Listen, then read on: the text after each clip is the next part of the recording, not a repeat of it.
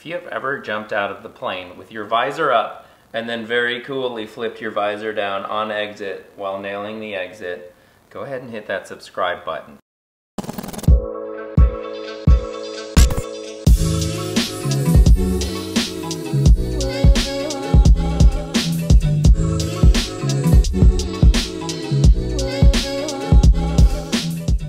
This video is all about how to clean the boogies off of your visor.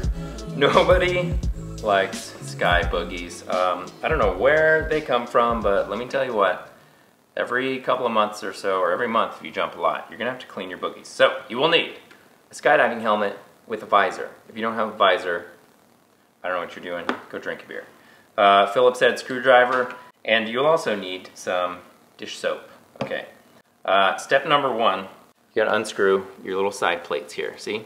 Three screws, three screws.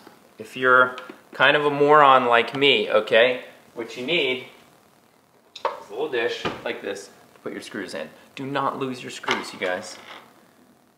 Lose your screws on those zoo dives. Step one, unscrew your screws.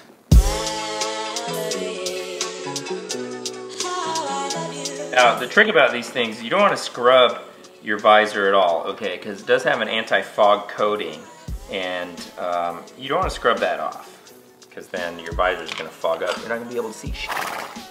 So, don't scrub that off. So, I got my visor off. You guys, can you see the boogies in there?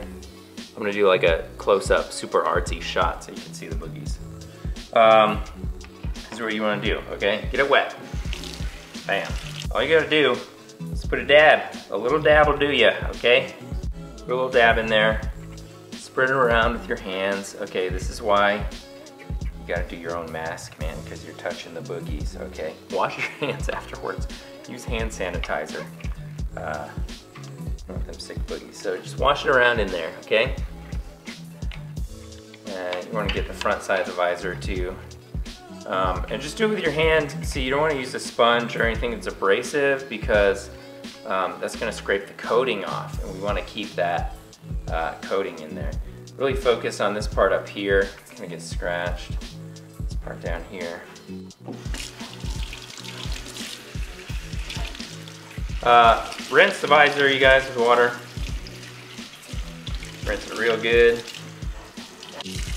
And then after that, just place it on your paper towel, let it dry on its own. Because I'm such a nice guy, I'm gonna touch the wife's boogies. Look at that, nice new altimeter. Cool and color coordinated. Ain't that cool, you guys, so uh, stuck away. So, uh, let me set up some cool B-roll shots of unscrewing the screws because I have no life, I have nothing to do today, you guys, so one sec.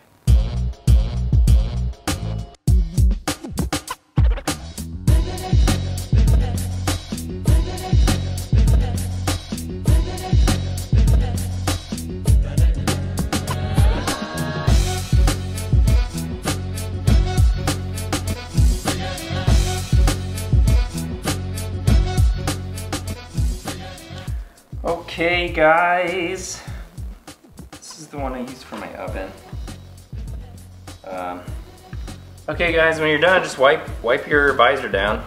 It's dry, it's almost dry. Uh, with a microfiber cloth. This one I use for my stove and it's got probably stove cleaner on it, so I'm not gonna use that. But if you don't have a microfiber cloth, check this out. Uh, the inside of your cookie helmet bag can be used to wipe your visor down. So wipe it down, get any of those water spots uh, removed, and then you can reinstall your visor. Uh, anyways, I hope you guys liked the video. Keep your boogies clean, keep your viewport uh, clear. I hate when I flip my visor down and I'm like, ugh, boogies. And then you're trapped in there with your boogies for like the whole jump. Thank you guys again for watching the channel. I hope you got a little bit of value out of this video. You know what guys? Invite your girlfriends or your skydiving gals to the channel, okay? Because I look at the analytics and it's like 96.4% guys. Um, which is great. You know, one of you guys called me sexy. Uh, you're welcome. But, um, you know, skydiving is a male-dominated sport. We're trying to get more ladies interested, so bring them onto the channel, you guys. Um, let me know how you keep your visor clean, what kind of helmet you jump with in the comments, and as always, I'll see you guys next time. Uh, back in the sky.